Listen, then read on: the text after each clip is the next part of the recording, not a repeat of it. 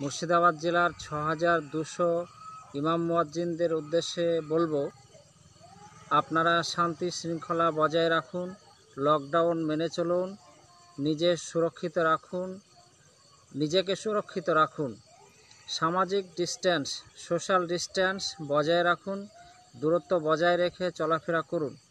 বিশেষভাবে নামাজের ক্ষেত্রে আপনাদের বলছি যে দুই তিনজন ব্যতীত মসজিদে জমায়েত করবেন না। ইমাম, মুয়াজ্জিন এবং খাদিম, এই তিনজন বা আর এক দুজন নিয়ে আপনারা জামায়াত শেষ করবেন। বাকি সমস্ত মানুষ বাড়িতে নামাজ পড়ার জন্য সমস্ত মানুষকে আপনারা বলবেন। এটা প্রত্যেক মসজিদ থেকে মাইকে আপনারা ঘোষণা দেবেন।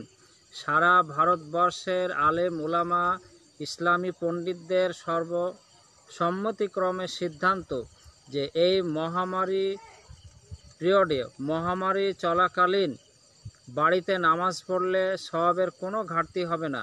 বরং এই সময়ে বাড়িতে নামাজ পড়াই উত্তম বলা হয়েছে।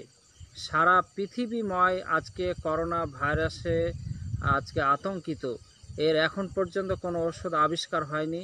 বিশ্বের উন্নতি প্রযুক্ত দেশগুলো আজকে কঠিন পরিস্থিতিতে যাচ্ছে। তো আমাদের ভারতবর্ষে লকডাউন চলছে। সোশ্যাল ডিস্টেন্সটা বজায় রেখে চলা এর একমাত্র মাধ্যম। আপনারা এলাকায়, মহল্লায় দুস্থ মানুষের পাশে দাঁড়ান আর আপনারা প্রশাসন তাদেরকে সহযোগিতা করুন।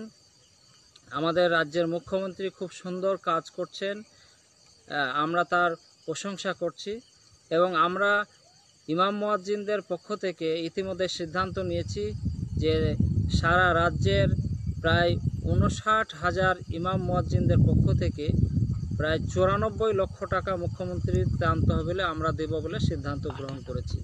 আপনাদের বলছি, আপনারা এই কথাগুলো সকল ইমাম এবং সকল মুসলিম জনগণের কাছে, আপনাদের কাছে আবেদন রাখব।